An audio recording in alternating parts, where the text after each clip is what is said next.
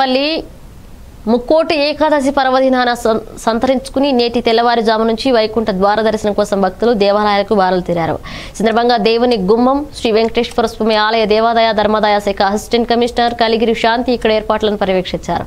భక్తులకు ఎటువంటి అసౌకర్యం కలగకుండా ఉండేందుకు అన్ని ఏర్పాట్లు చేశామని ఆమె ఏపీ లోకల్ న్యూస్తో తెలిపారు.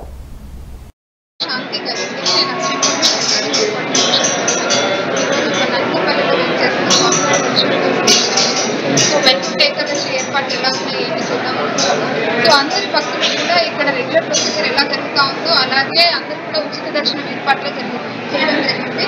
ప్రతి ఒక్కరు కూడా మార్నింగ్ ఫోర్ ఓ క్లాక్ నుంచే దర్శనానికి వస్తూ ఉంటారు ఇక్కడ వైకుంఠ ద్వారం ఏర్పాటు చేసేసి తిరుమలలాగా ఎలా అయితే ఉంటుందో అలాంటి దర్శనాలు ఇక్కడ భక్తులు కల్పిస్తూ ఉన్నారు.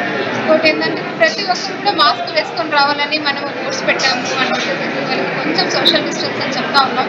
బట్ కాదు భక్తులకి స్వామివారిని దర్శించుకోవాలని ఆసక్తిగా వాళ్ళు కొంతమంది ఒకరి మీద ఒకరు దగ్గర దగ్గరికి రావడం జరుగుతూ ఉంది.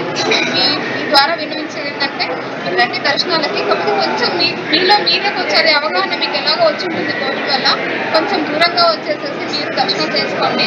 నిదానమైనా సరే నిదానంగా స్వామివారిని దర్శించుకోండి.